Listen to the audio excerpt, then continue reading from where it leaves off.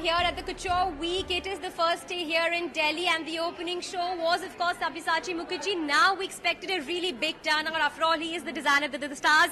But, of course, the star guest who turned up here was Rani Mukerji, her first show after marriage.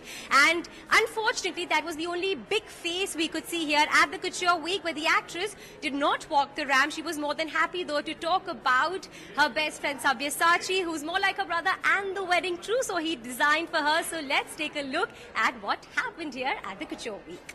I don't know whether I'm his muse or no, but uh, just to say that we really enjoyed. Um, I think uh, all of you are witness to the beauty that we just and the magic that we just saw on stage. And um, I've always said when I see Sabya's clothes, I, I just have a tear in my eye because I can just see the hard work and the blood and the sweat that goes into each costume.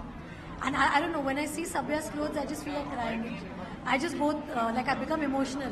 And I don't know why, because after you see clothes, I think you'll want to wear them. But with Sabya's clothes, you feel like crying. And I hope that's a good thing. But yeah, um, also to think that after the models wear them, the clothes will be cut to my size and I can wear them too. So that's a good feeling.